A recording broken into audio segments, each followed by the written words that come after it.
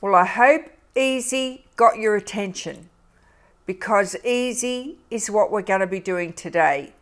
You can make this little one piece pocket. You can put a journaling spot in here or you can use it as a belly band or it can not serve any purpose at all and just look pretty in your junk journal. You decide what you want to do with this. So I'll start off showing you how to make the cover for it. We're just going to make a blank and then once you know how to make the blank you can make this in as many styles as you like honestly, whatever you like, if you want to put it in any type of journal, you can make it work for that journal. So you start off with a light cardstock. My method to do this is to fold it in half and then I just cut off that fold line. And that will give me two separate pieces. Now I'm going to use the scoreboard because this is a a very light cardstock. It's easier to fold if you use the scoreboard. I'm just going to put that in my scoreboard and I'm going to do my first score on two and a half and I'm going to fold that over. Make sure your sides are level. And I'm going to score just beside this cut line. Now I don't want it to be as wide as these notches so I'm just going to move it up a little bit and then score pretty close to it but not right on it and then fold that over as well. So it's just got to fold past there without that hitting the fold line and then do the same again and fold it over. So there's three scores and three folds. Then I'm going to use my pencil to just mark the edge of that there and I'm going to cut off just inside that pencil line. You can make this as wide as you like. You can have that coming closer to that fold line or you can make it just an inch wide. So that's optional how wide you have this flap here. All right, so we need to press down that fold line. If your cardboard's too heavy, this is where everything sort of starts to get very bulky. So now this left side is going to be where I cut my window out. So if you look at it like this, that is going to be my window piece there. Now to cut your window, have this bottom piece here and the long piece to the top. The border I'm using is 3 quarters of an inch down, 3 quarters of an inch in and 3 quarters of an inch that way. But what I use is my tag templates. These are a clear template that you put down on whatever it is that you want to cut out and then you use your craft knife and you use these templates like a ruler and you just cut all the way around them. But what I'm going to do is I'm going to use my template, the biggest size. I'm going to turn it around and I'm going to use the bottom and it makes a perfect window size for this particular project. You could use these on any project. They're not just for tags. So just place it where you think you want it. You've got to make sure it's straight across here. So I'm going to use my ruler to make sure that that is straight.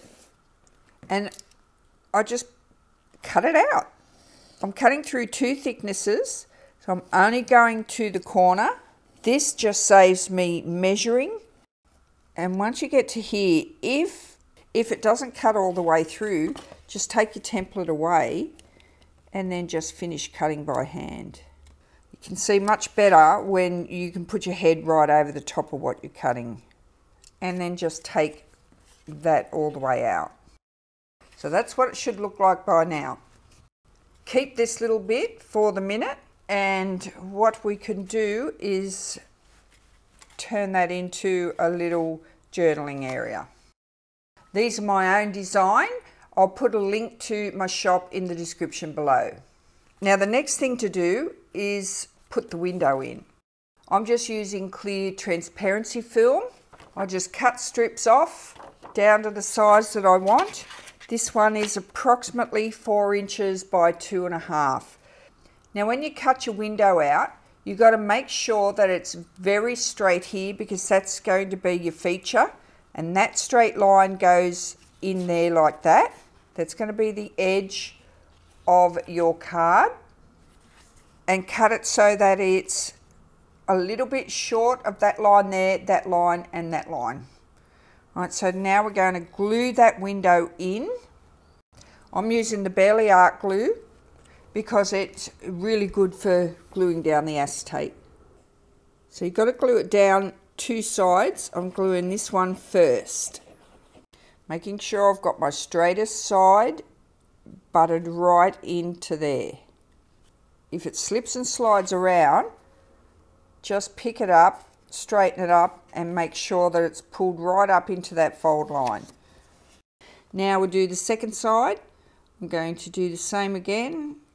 Come around the edge, do my corners and glue that down. Now this is industrial strength glue. You don't need to put a lot of it on that's just one single piece.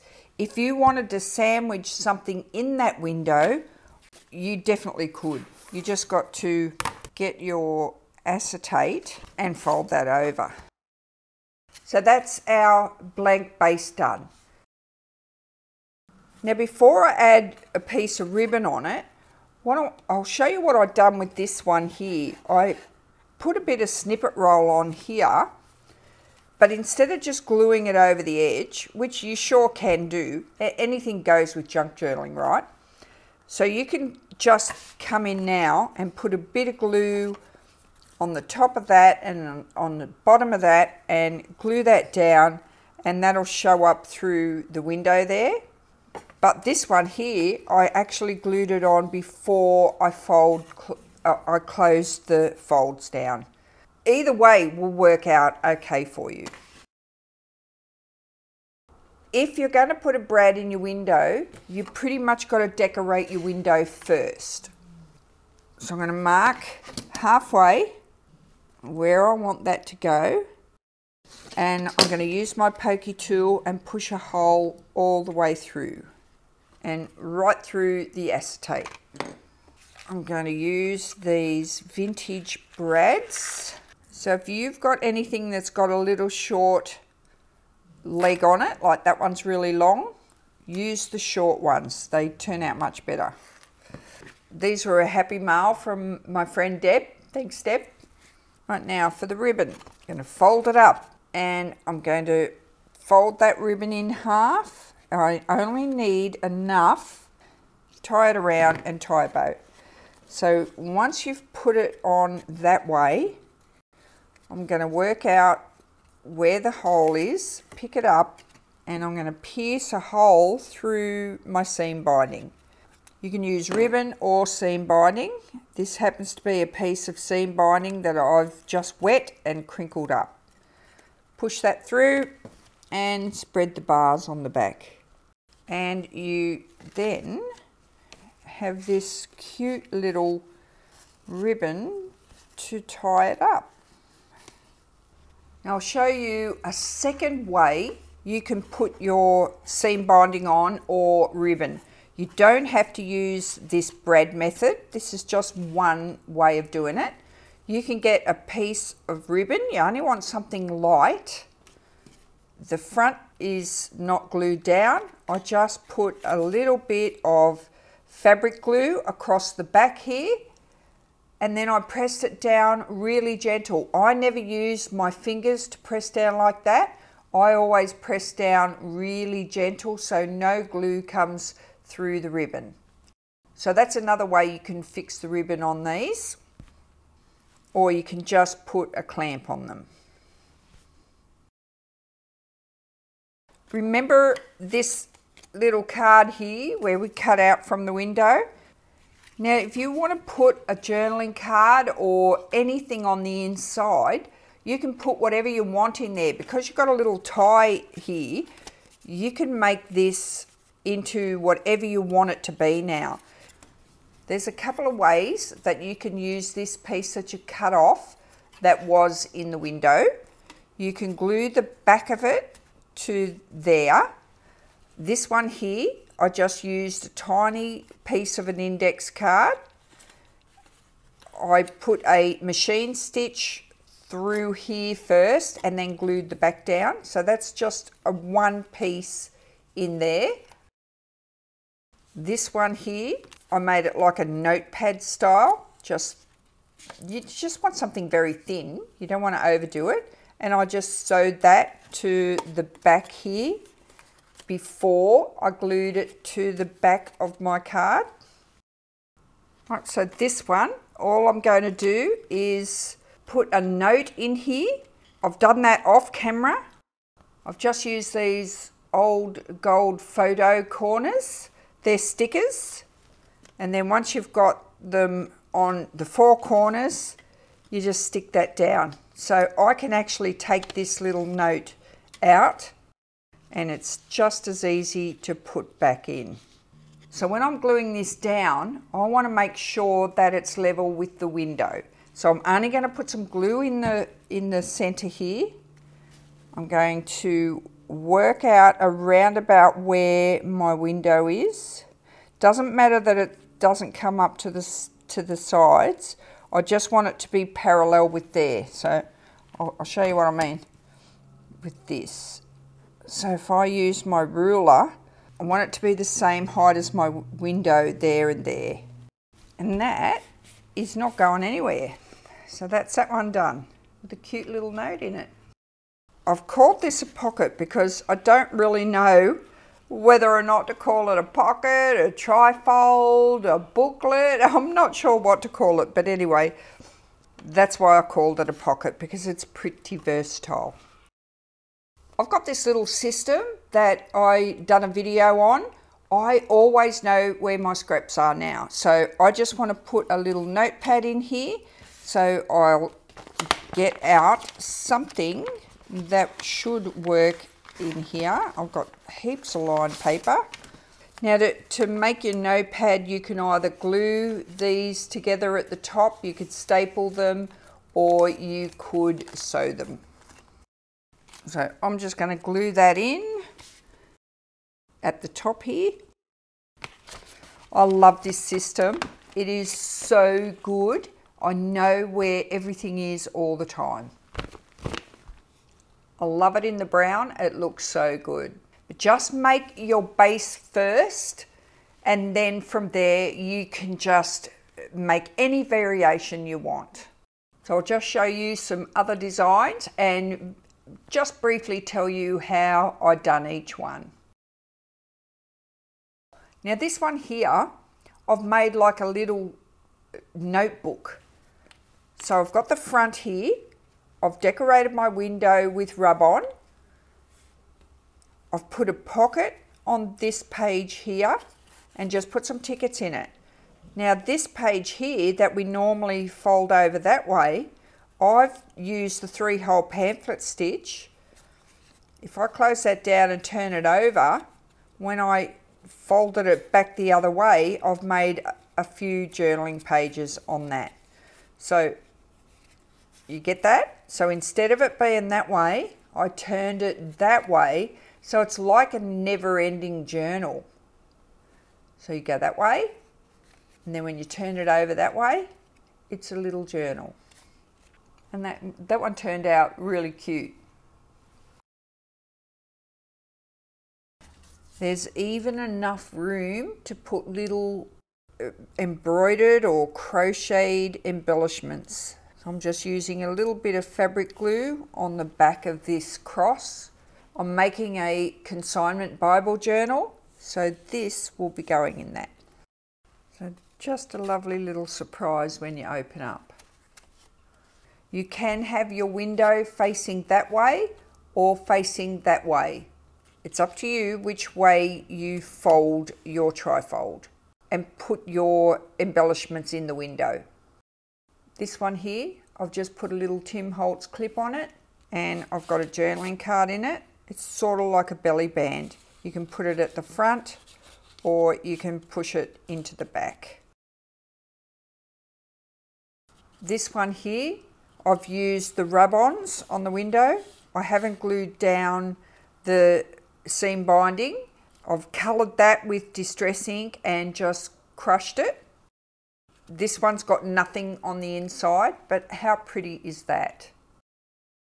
This one I've made in a vintage style. So I've got a, a Tim Holtz mini paper clip on that.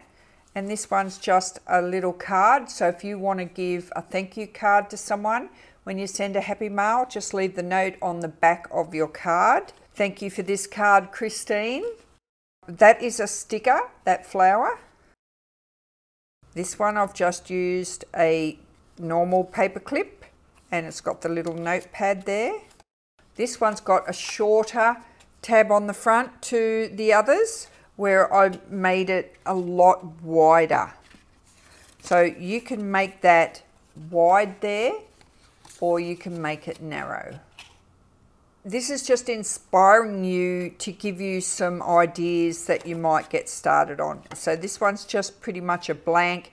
I've got a tag out and I've put that in there so that I can just see it in the window you know, like I could put a flatter paper clip on that and just pop that in a pocket in my journal.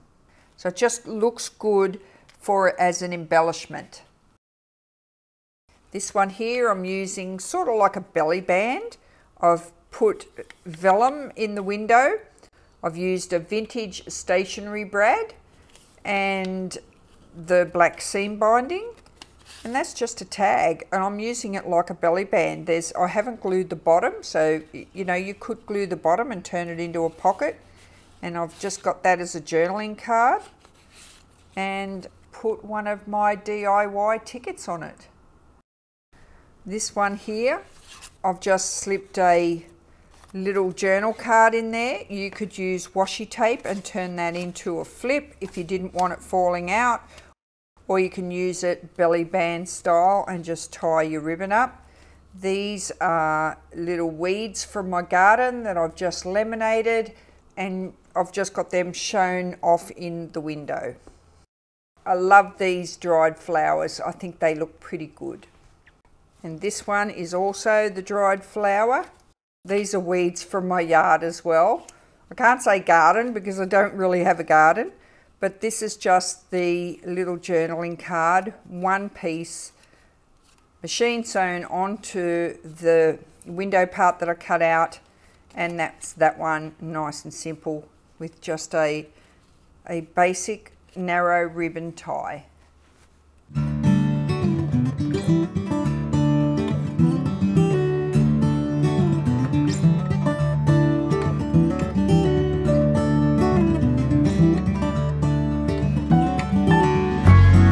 Dogs will be howling in the early morning light. All are happy to be out in the ending of the night, welcome of the dawn.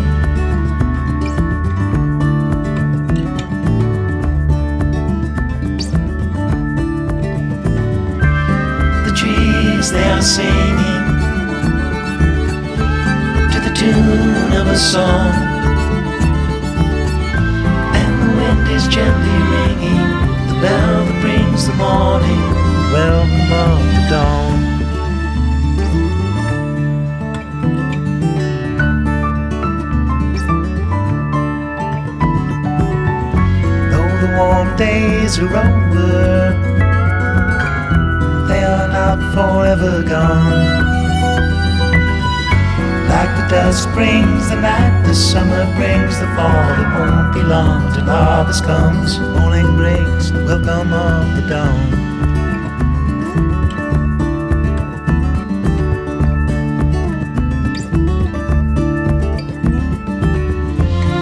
Daylight is calling, welcome